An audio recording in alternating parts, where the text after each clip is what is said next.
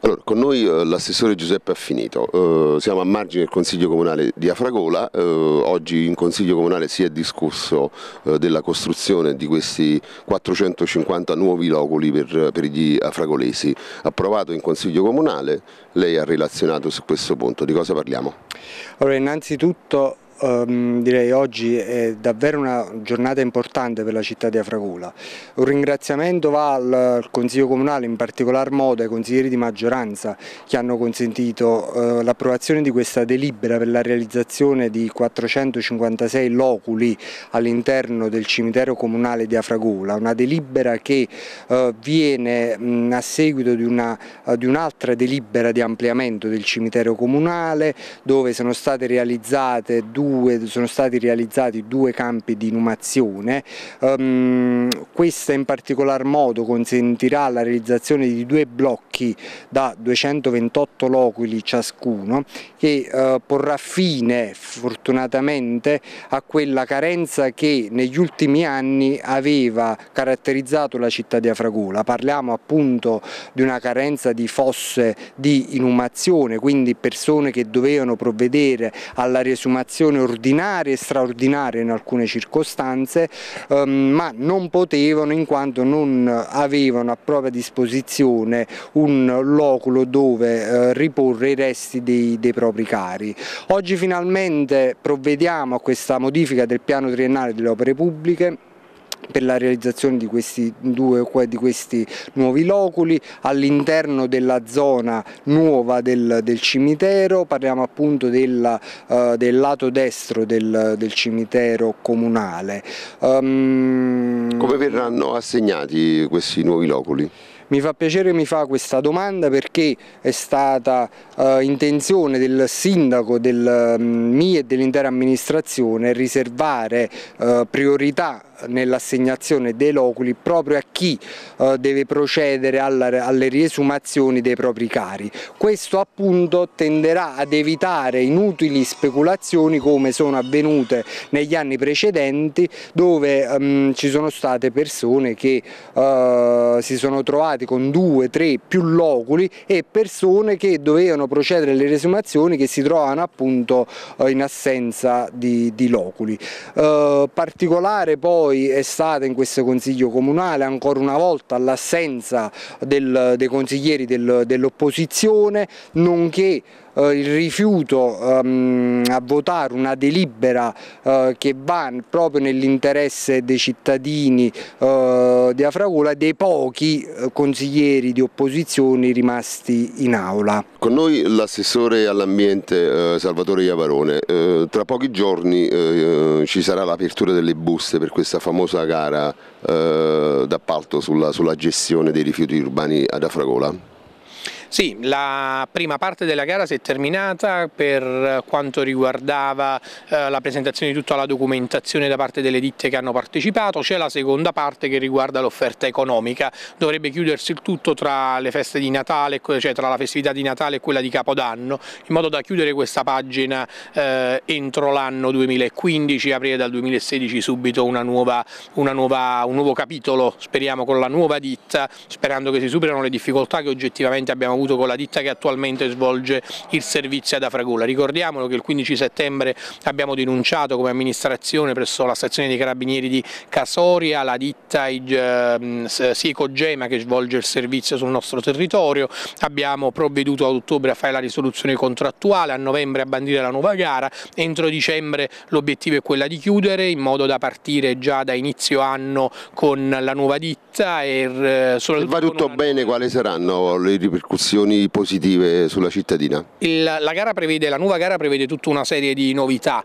eh, la prima è l'avvio del servizio alle 5 del mattino e non più alle 6, per cui guadagnando un'ora avremo la città pulita la mattina presto, già quando si crea il traffico per andare ad accompagnare i figli a scuola. Non vedremo eh, come prima i camion al centro strada eh, che inevitabilmente perché lavorano bloccano il traffico, certamente questo potrà capitare ma partendo un'ora prima eh, la città città sarà eh, presentata meglio agli occhi dei cittadini già dalle prime ore del mattino. L'altra novità sono i camion, camion molto più grandi, eh, per capire questi qua sono 35 tonnellate, questi che attualmente eh, lavorano sul territorio, ricordiamolo che furono scelti in una gara che non abbiamo fatto noi come amministrazione ma che abbiamo ereditato, nella nuova gara i camion sono portata 120 tonnellate, cioè quattro volte più grandi, mh, mm, decisamente migliori da questo punto di vista. Un'altra novità è l'isola ecologica fissa che avremo, o meglio il centro di raccolta fisso che avremo proprio qua all'ingresso dell'asse mediano di Afragola, un'isola ecologica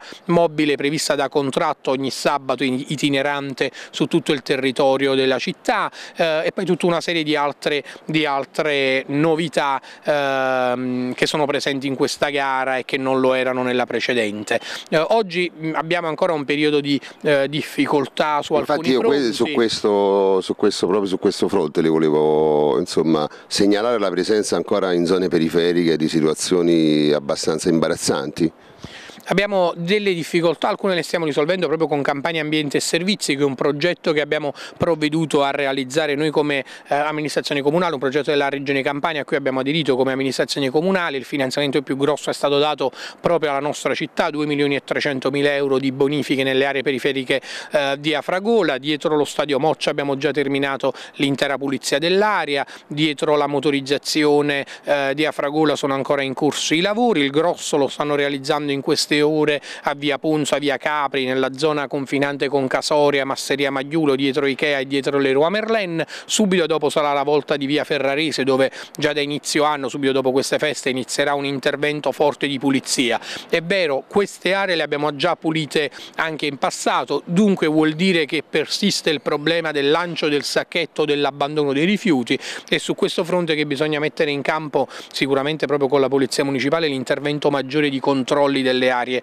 periferiche. Eh, ci sono oggi 100 telecamere, ci sono da qualche giorno 15 guardie ambientali ehm, eh, guidate dalla Polizia Municipale, bisogna però potenziare di molto la Polizia Municipale presente nelle periferie della nostra città, altrimenti rischiamo di pulire e, e poi perdere il controllo di quelle aree se non vengono controllate periodicamente. Dunque forse una criticità è su questo. Questo è segno però ancora di una non sensibilità forte da parte dei cittadini, perché se queste aree vengono vengono pulite e poi sporcate nuovamente, vuol dire che c'è qualche problema. Noi abbiamo ripulito aree, penso alla seconda rotondarina dove non si facevano interventi, oggi sono decisamente più pulite, dove non si facevano interventi da quando quelle rotonde erano state realizzate eh, anni e anni fa. Per cui eh, ricordo che abbiamo tolto amianto nelle periferie di Via Arena che gli agricoltori di quella zona ci hanno detto che erano state abbandonate nel 2008, che io stesso avevo denunciato eh, abbandoni nel 2008, le abbiamo puliti nel 2000, ripulite quelle aree nel 2014 appena appena arrivati come,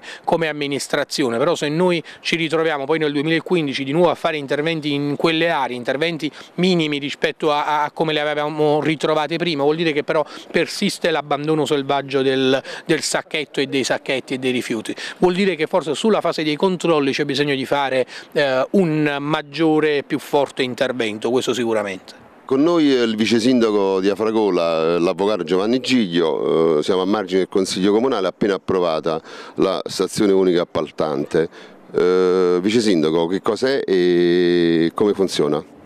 Allora, la legge, eh, la legge, 90 del 2014 prevede che i comuni per indire gare per quanto riguarda i lavori e i servizi devono aderire a una stazione unica appaltante. La scelta fatta dal comune di Afragola è quella di aderire alla stazione unica appaltante della città eh, metropolitana. Eh, la durata di questa convenzione, questo accordo quadro che andiamo a fare con la città metropolitana è di, eh, è di un anno, rinnovabile per i prossimi tre anni. Eh, rispetto al dettato normativo che ci imponeva entro il 31 dicembre del 2012 di, 2015 2015 di aderire ad una stazione unica appaltante, noi l'abbiamo ottemperato con la delibera approvata stasera in Consiglio Comunale, per noi sarà questo primo anno diciamo, facciamo un po' di eh, rodaggio, di rodaggio con, con, la città metropolitana, anche perché è allo studio la possibilità eventualmente di fare dei consorzi con, con, con altri comuni per creare una nostra stazione unica appaltante oppure, cosa secondo me molto più eh, facile, molto più semplice, eh, di eh, noi eh, eh, tra le varie partecipate che abbiamo, abbiamo la città del Fa fare, che è di per sé già un consorzio,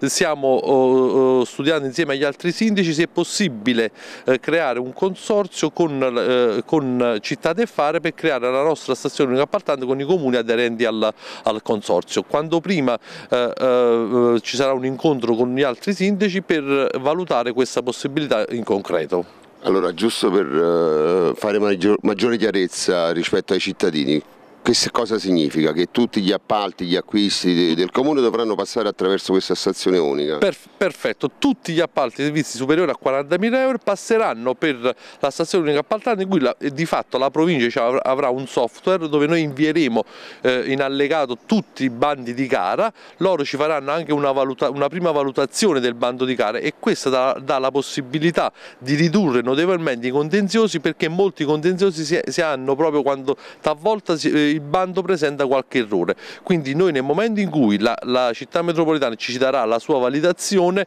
ci sarà un ulteriore controllo sul bando che permetterà questo di ridurre sensibilmente eventuali contenziosi.